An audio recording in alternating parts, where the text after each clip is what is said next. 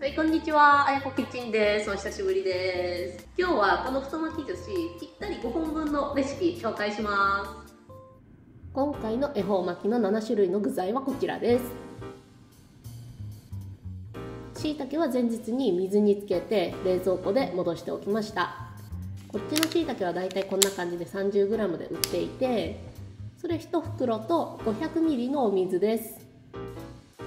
まず椎茸の戻し汁 100g 取っておいてください。これは人参に使います。で椎茸をまずお鍋に入れちゃいます。そして椎茸のこの石突きの部分ちょっと触ってみてあちょっと硬いなってやつは切っちゃいます。だけど触ってみて柔らかいな食べれそうだなっていうのは切らなくて OK です。お鍋の中にこの椎茸の残り汁入れるんですけどそこの方にちょっと砂利とかが溜まったりするのでこしながら入れてください。醤油ドライ白ワインお酒がある人はお酒使ってください。これは砂糖です。これを火にかけていきます。椎茸が煮立ってくるとだんだんこんな感じでアクが浮いてくるのでアクは取り除いてください。アクが取れたら落とし蓋をして水気がなくなるまで煮ていきます。だいたいこのぐらい水分がなくなれば OK です。そしたら火を止めて冷めるまで放置。これは冷めたやつですね。しいたけ冷めたらしっかり味が染み込むのでそしたらカッティングしていきます。そしてしいたけはおそらく余ると思います。冷凍保存ができるのでぜひ参考にしてください。はい、続いて人参です。これはさっき取っておいた椎茸の戻し汁です。人参をスティック状に切っていきましょう。この戻し汁の中にお醤油、ドライ白ワイン、または酒、砂糖を加えたら沸騰させます。そうするとアクが浮いてくるのでアクをまずすくいます。そしたら人参入れてください。落とし蓋をしてゆっくりコトコト人参に火が通るまで煮ていきます。だいたい10分15分ぐらいで OK 続いて卵焼き。卵4つ割っていきます。これはお水です。はいこれはかつおだしなければなくてもいいです。お砂糖。塩を2つまみ入れます。そしたらしっかり溶く。フライパンに油を敷いてちょっと垂らしてジュッてなれば OK そしたら卵を入れていきます。火を弱火にして蓋をします。でちょっと待ったら少し固まってくるんでそこが少し固まったらこんな感じで折り返して卵焼きを四角くしていきます。ちょっと破れちゃっても気にしなくて OK です。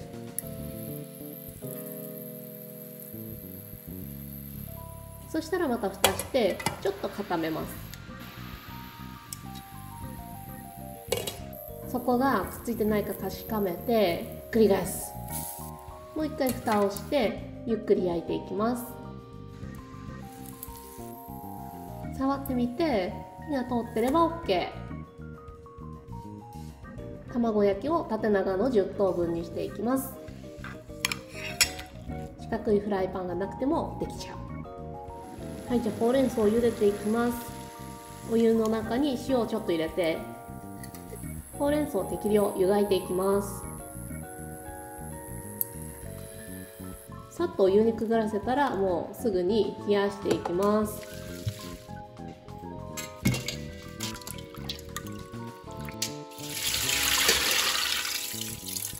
ぎゅーっと固く絞って水気を飛ばしてください。はいこちらはかんぴょうです。かんぴょうはポーランドでも普通にスーパーに売っててちょくちょく見かけますね。これは私が以前お寿司作った時にかんぴょう使い切れなくて冷凍で取っておいたものです。かんぴょうは夕顔という野菜からできていてそれを甘く煮つけてあるんですね。ちょっと水気があるんでキッチンペーパーの上に置いておきます。はいきゅうり。これはもうストライプにカットするだけです。種の部分はあんまり入れないようにしてください。大体こんな感じ。はいでは酢飯の作り方。これは寿司ライスです。ヨーロッパだと 500g1 パックで売ってることが結構多いです。なので今日は1袋丸ごと使うレシピです。お米を洗っていきます。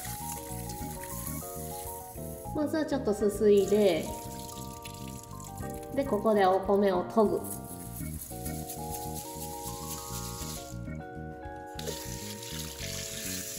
そしたらすすいでお水捨てます。この作業を手早くやっていきますよ。はいもう一回研ぐ。お水入れてすすいでいきます。そしたらこのお水はすぐ捨てる。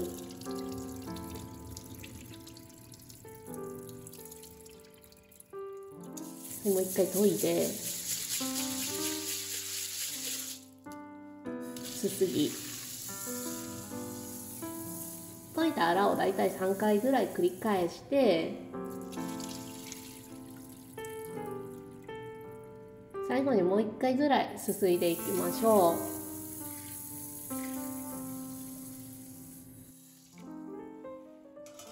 はいそしたらざるにあけていきます。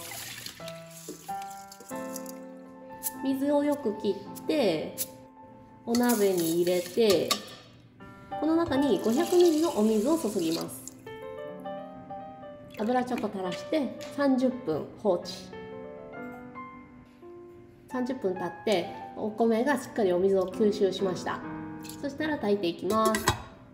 まず中火ぐらいにかけて沸騰したらこれを弱火に落とします。ここから10分タイマー。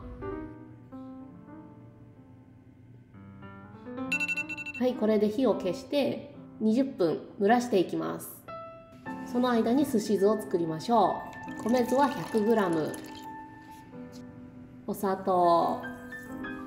塩。はい混ぜるだけです。昨年9月に帰国した時に持って帰ってきましたこの石帯私のお気に入りの千鳥酢。日本には結構いろんなお酢のメーカーがあって、まあ、みつかんが一番有名だけどみつかんよりももっと美味しいお酢もいっぱいあります。千鳥酢よりももう一個上のランクで富士酢とかもあるんですけど富士酢はやっぱちょっと高すぎるんでこれがそこそこ手頃な価格でしかも美味しいからおすすめ。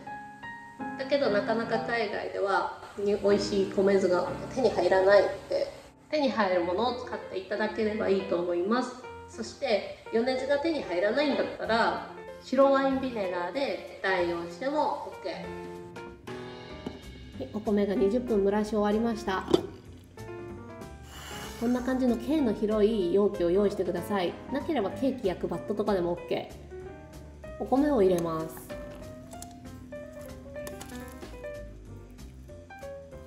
そしたらすし酢を回しかけてお米を切るようにしゃもじで混ぜていきます。お米の塊をしゃもじをスライドさせながら崩していく感じですね。手早くやってください。ここでまんべんなく混ざったなと思ったら仰いで風を送ります。冷ましていきます。表面が乾いてきたら混ぜて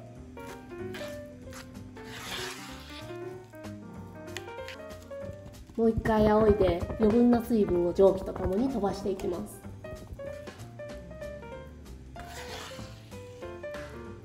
これで人肌ぐらいに冷めれば OK 濡れた布巾やキッチンペーパーでお米が乾かないように蓋していきます。はいじゃあお寿司巻いていきましょう。海苔は裏表があってピカピカした面が表。こっちが裏。そしてこういう縦線が入ってると思うんですけどその線を自分に向けます。お米を乗っけていくんですけど今回お米の総量が 1120g でした。なので 220g でちょうど5等分。素人なんで目ばかりじゃなくてきっちり測った方が結局やりやすい。端っこ3センチぐらい開けて均等に伸ばしていきます。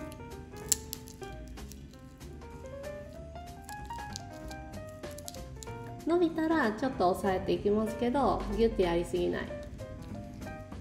はいそしたら具材のっけていきます。真ん中よりも若干下気味に置いていく感じ。カニカマは2本と半分がちょうどいいです。そして今回の具材は海外のスーパーで簡単に買えるものをなるべく集めました。この具材じゃなきゃいけないってわけじゃないので好きなもの巻いてください。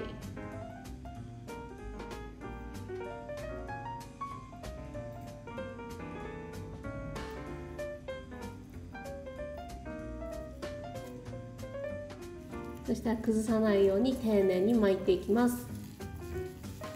ここでギュッて押さえて巻き巣を開いてスライド。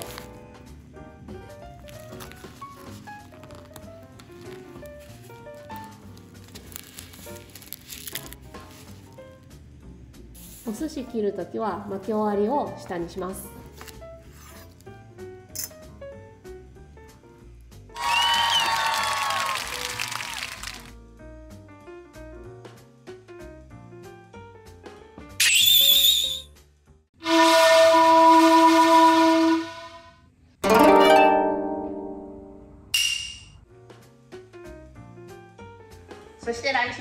3日は節分。日本ではこの日に豆まいて無病息災と家内承福を願います。そしてこの恵方巻きをその年の方角を向いて無言で一本丸かじり。それがルールです。そしてそのお寿司は切っちゃダメ。切り口から幸運が逃げてしまうって言われてるのとあと食べてる最中に喋っちゃうとそこから幸運が逃げちゃうって言われてるんですね。皆さんよかったら作って食べてみてください。この動画が良かったらいいねとチャンネル登録もお願いします。